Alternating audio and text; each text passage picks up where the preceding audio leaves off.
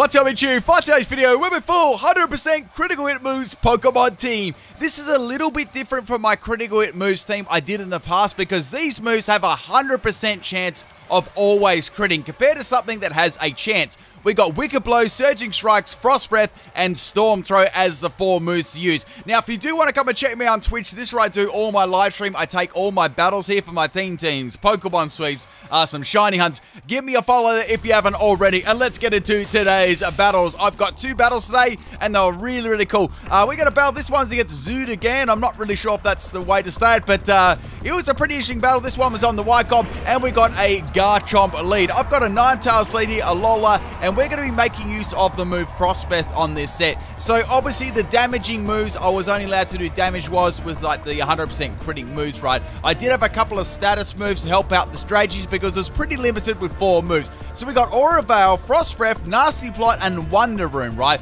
We got max speed and max special attack, Modest Nature.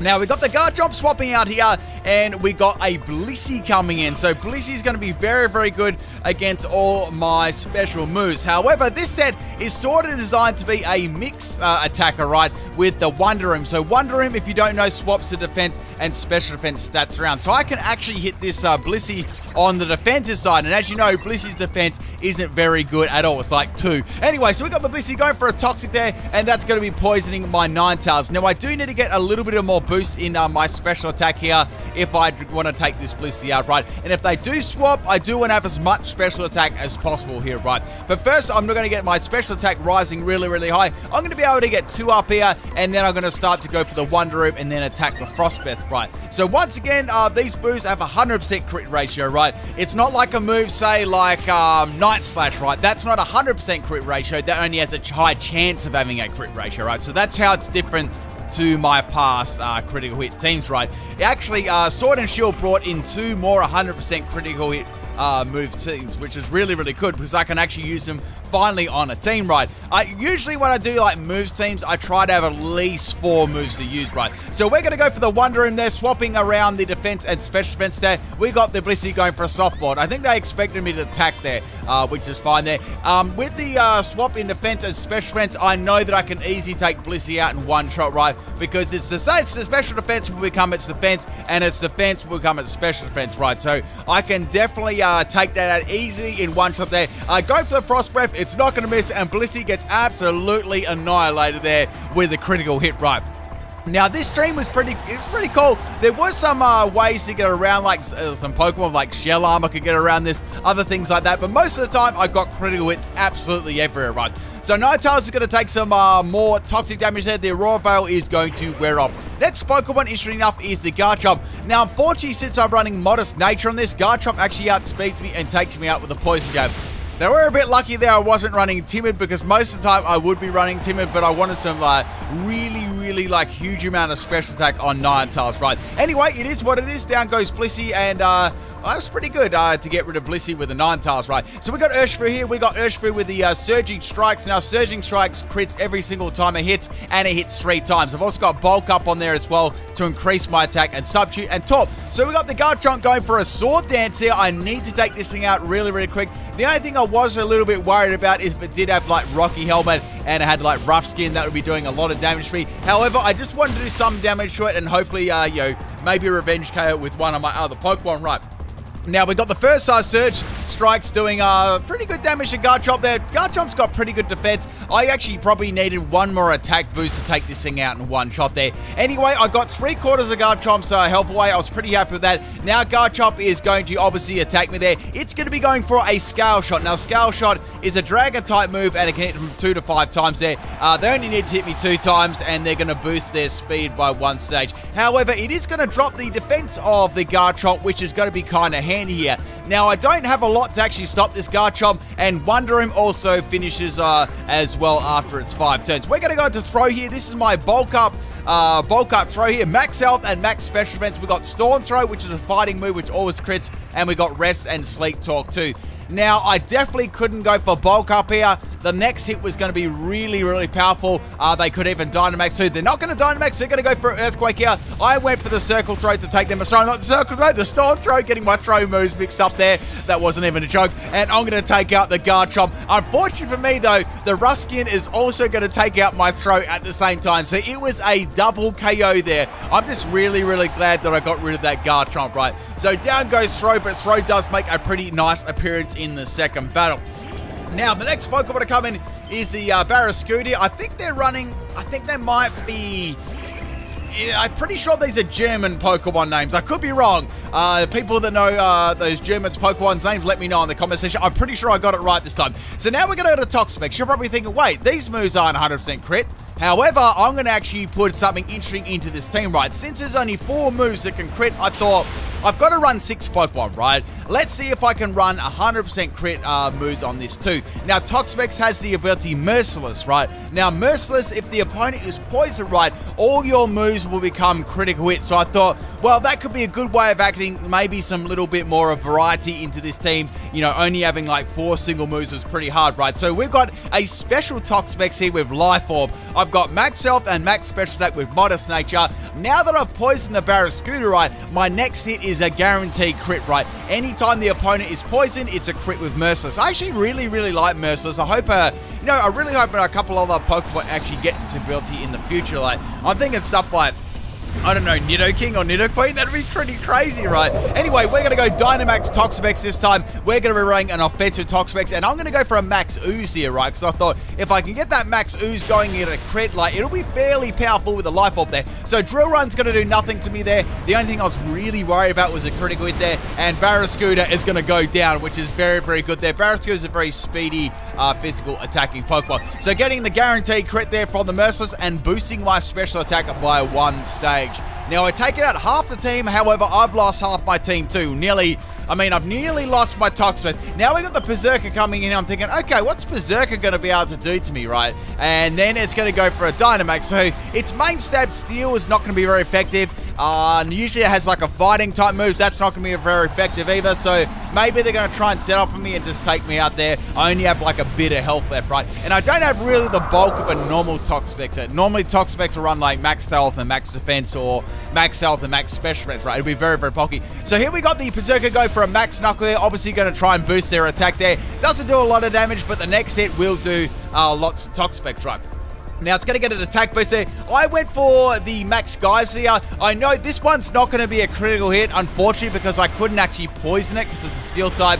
However, it does a lot of damage there, so I'm very, very uh, happy with how much that did right. Now that's also going to put the rain on the field too. Now the next hit is definitely going to take the Perrserker out. However, I've only got a little bit of health left, unfortunately. So here comes the Max Steel Spike from the Perrserker. Obviously, goes Steely Spirit. I lived on two health. I wish it was one. However, my next uh, Max Geyser is going to take out the Perrserker, and at the same time, right, the Life Orb is going to take out the Toxapex. So we are actually going to have a double Dynamax KO at the same time. I was very proud of the Toxapex special set there. It worked really, really well. I've actually had a lot of success with uh, special Toxapex. Like, no one really expects it to do any, like, incredible damage there at all. And unless on the, like, on the special side, right? So I've had a lot of nice surprise KOs. So a double uh, KO there on the Dynamax. Now, the next Pokemon here is a Toxapex. So like, okay, I'm going to go for Krookodile. So this is probably one of the most gimmicky sets on my team because my Krookodile pretty much get KO'd like a lot of the time. So we got a Fling, Shadow Claw, Focus and Stone Edge uh, sort of set here, right?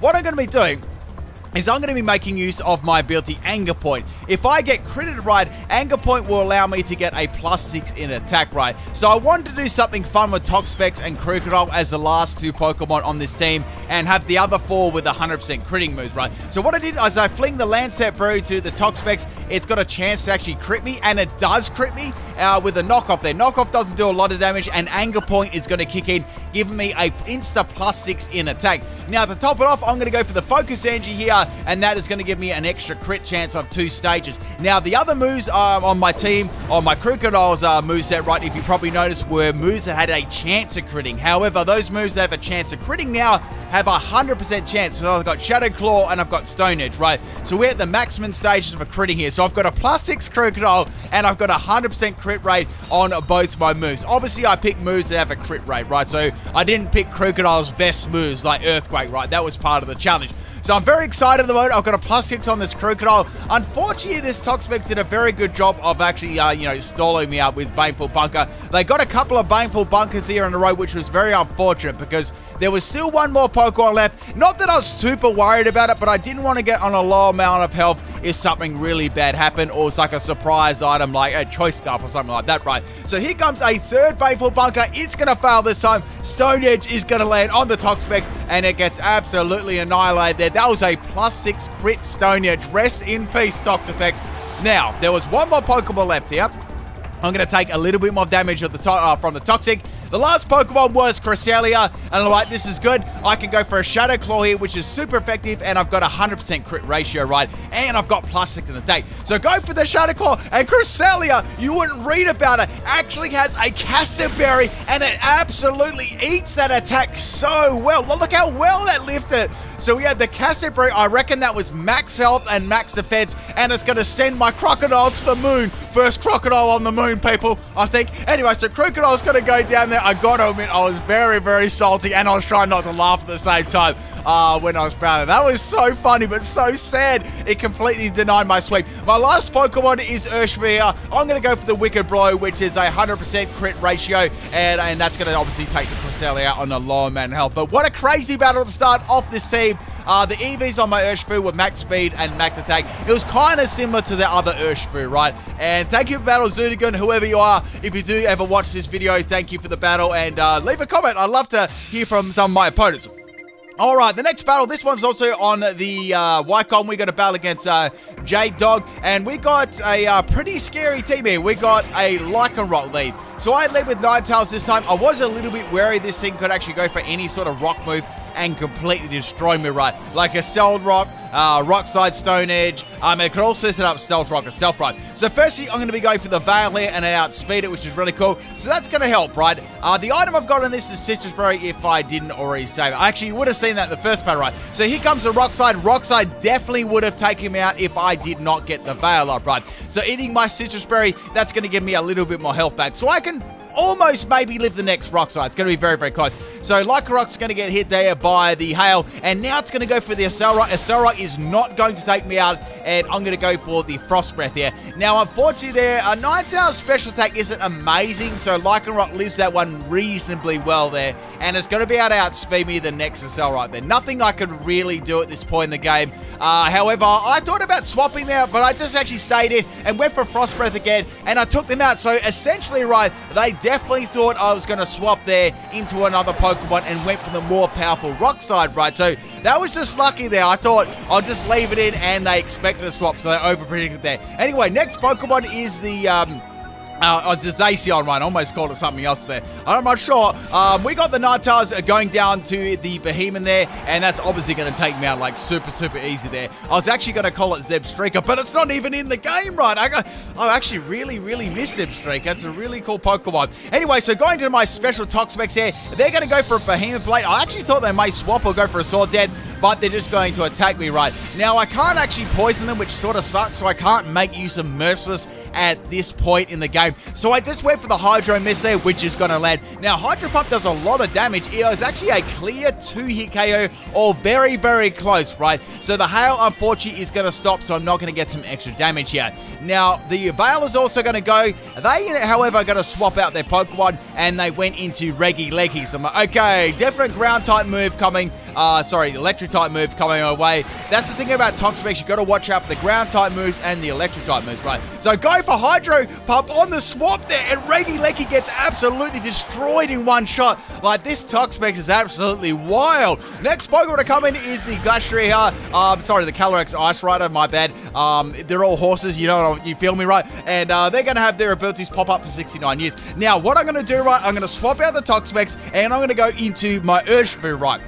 Now, this is my This is my Surging Strikes Urshifu with the King's Rock, if I didn't mention what my item was. Instead of going for a physical move, it went for a, a special move. I was like, wow, special Calyrex. That's pretty cool. I like that. I like the way this person's thinking. So go for the Surging Strikes here. I'm hoping I can get some like King's Rock flinch. Like maybe one would be very handy because Calyrex Ice Rider is really, really thick, right? So I'm going to need like another one or two to take it out. Unfortunately, I do not get a flinch there, and it's going to take me out with a Giga Drain and get a little bit of health left. So I was like, oh man, this is nice. They're running a special. I will give them props for running the special Calyrex because that's something that I would do, right? So down goes my Urshifu. Unfortunately, I never really got to get a lot of flinches with Surging Strikes. I think like one battle I did, but it was an absolute wipe. I think I destroyed them by 5-0, and it wasn't really worth uploading. Okay, next Pokemon is Krookodile. I was like, you know what? Let's go for the Fling. Let's get the Lansat Berry strategy rolling again. If I can lift this Giga Drain, we're good to go, people. So anyway, uh, we're going to have the uh, Berry activating there on the Calyrex,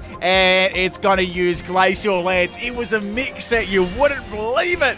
Unfortunately, Krookodile is not going to be living that attack. Like, even if it wasn't a crit, I wasn't even going to be living that one anyway. That, that would have taken out Krookodile's entire family. So down goes the Krookodile there, sad face. I've only got three more Pokemon left, right? And I've only taken out two of theirs, so things are pretty desperate at the moment, right? Now, the next Pokemon I'm going to be swapping in is my Toxapex. I was confident I could live a Psychic, a Giga Drain, and a Glacial Lance. So here comes the Psychic there. I do live that one, which is very, very good, and I went for Toxic. Instead of going for Hydro Miss, I thought Toxic would be a better play there, because I'd rather poison it and get some sort of damage over the time than nothing, right? Um, at this stage, I was thinking maybe they'll go for a Psychic again, and then I could actually swap into my own Urshifu and see if I could get some sort of strategy going here. So I went into my Urshifu hoping they went for a Psychic, and they did. Since I'm a Dark type, that's not going to affect me, and they're going to get another round of the Toxic, which is very, very good. Now, I've got Substitute on this set, and then I thought, you know what? I'm going to go for an Urshifu, and I'm going to use this G-Max form, right? I thought to use both the G-Max uh, ones in this battle, too. I thought it could be a bit of fun. I don't normally use these Pokemon, too, so enjoy it while you can, right? So I'm going to use my signature move here. I must admit, these do look really cool in G-Max.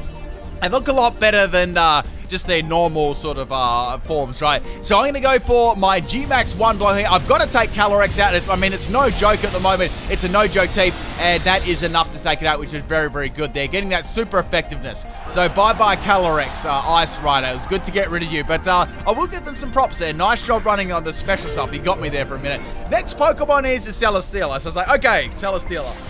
This is definitely going to be Dynamax. It might be like a uh, one of those weakness policy, uh, just uh, max airstream sets, which is super, super bulky. Then they get a lot of like, uh, they get beast boost up and they just completely destroy the rest of your team. Like a very, very powerful, uh, you know, Dynamax Pokemon to Celesteela. That, in fact, like a lot of the, uh, you know, Ultra Beasts were very powerful at Dynamax, right? So go for G-Max, one blow again. I figured it probably about a, you know, three about a three to four hit KO, depending on what sort of set it was, but it was about a three, so I was like, okay, that's fine. Now we got the Max Steel Spike coming from Celesteela. Doesn't do a lot of damage to me. Now, the only good thing that's going to come out of this, right, they are going to get defensive boost. However, uh, my move outside of, uh, obviously outside the G-Max there, uh, Wicked Blow is going to crit, which will do some nice damage there. So go for another one there, and Celesteela is almost in range for me to actually take out here. So another Max uh, Steel Spike from the Celesteela is putting me around the half health mark here, right? Now, that's my last turn of my G-Max Urshifu, and he's going to be going small again. What one do you like better? Do you like the you like the red or the blue uh, G-Max color? So what I thought here is, since it's got one more turn to go, let's go for Substitute Ride, stall out that last turn of Dynamax so it's not as bulky, right? And then go for Wicked Blow afterwards and see what's going to happen. So I'm going to be able to take that one there. Celesteela is going to get a boost in its special defense. Now, the great thing about this team, right, is if the opponent got any boost in defense or special defense or whatever, right, um, I could get past that with all the critical hit uh, moves on this thing, which is really, really nice. So we're going to go for the Wicked Blow here. I think I like Surging Strikes a little bit better for the move animation than that one. It still looks cool, but I like Surging Strikes a bit better if I was to compare the two.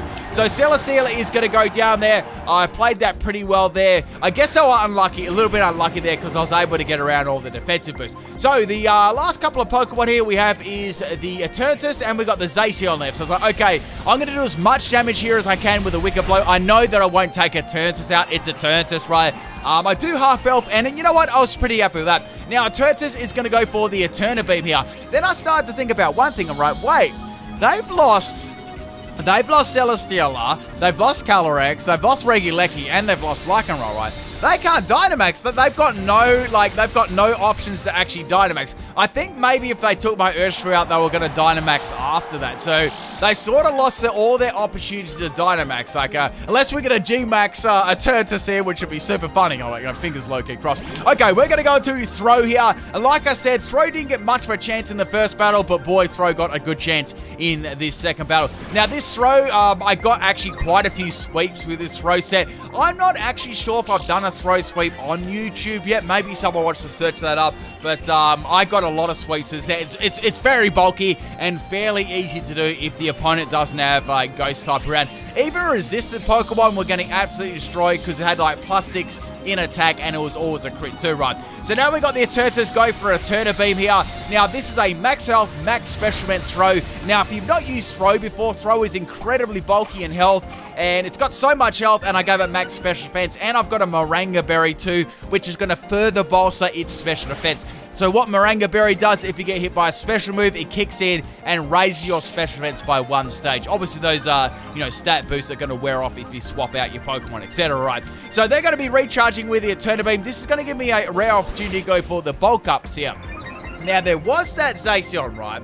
And I'm thinking, if it's got Sacred Sword, sure. If it's got Sacred Sword, that's fine. I believe I can live a Sacred Sword and I should be okay, right? I've got to remain in enough health, though, for it to come in. So I have to make sure that I've got all of my health or a big chunk of my health when it comes in and uses that, right? Or let's say get a crit on Behemoth Blade. That was the only real thing I was worrying about with Zacian, right?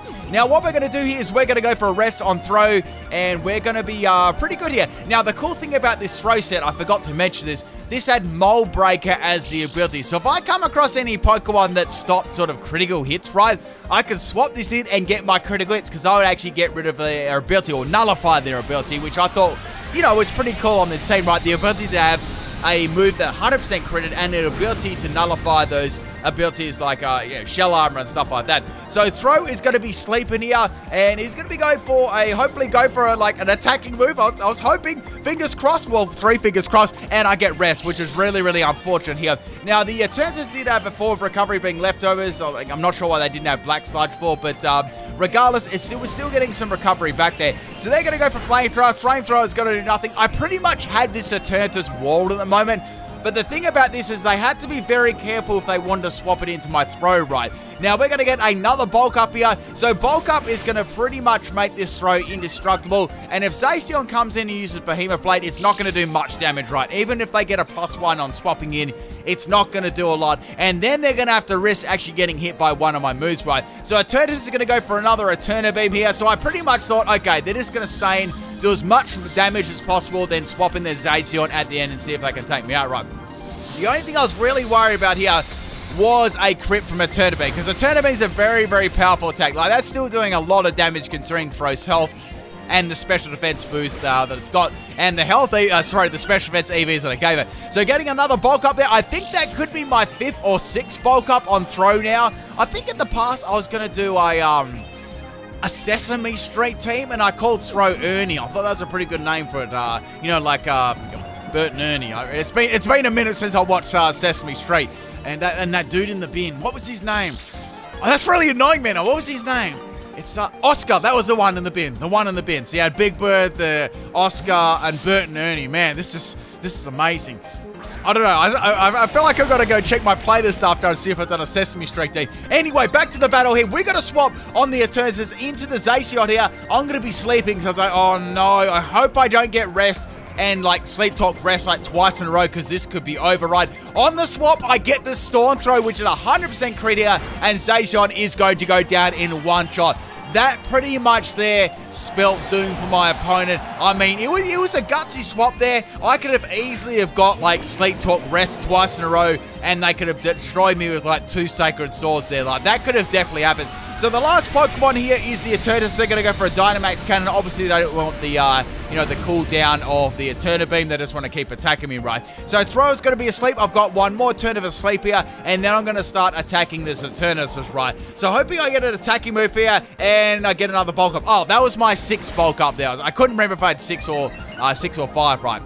It was still doing a lot of damage. So we are down to two minutes left on this game here. It was actually a very, very long game. It went almost like right down to the end run. So we got the Eternatus going for another Dynamax Cannon. Dynamax Cannon at this point was about a four to five hit KO, right? So I wasn't really worried about it that much, right? About, yeah, about a five hit KO around there. So four to five. So now I'm going to go for a Storm Throw here on the Eternatus, hoping it did some pretty good damage. And it's a clear two hit KO on the Eternatus. Maybe, possibly a three hit KO if I got minimum or max damage there because I do have the leftovers there and obviously um, I don't have max attack so it's not doing a much and circle throw obviously is resisted by the Eternatus so they're going to go through a last hurrah Eterna beam here uh, on my Throh this is going to be their last move because I'm obviously going to be able to take them out in one to two more shots there. So Eterna beam is going to hit me pretty hard. We've got 59 seconds of this battle left Another Eterna Beam, I feel like I'd probably be able to live that one there. And they lived on one health and they got their leftovers recovery that's pretty much it for the second game, people. It was a very, very close battle there at the end.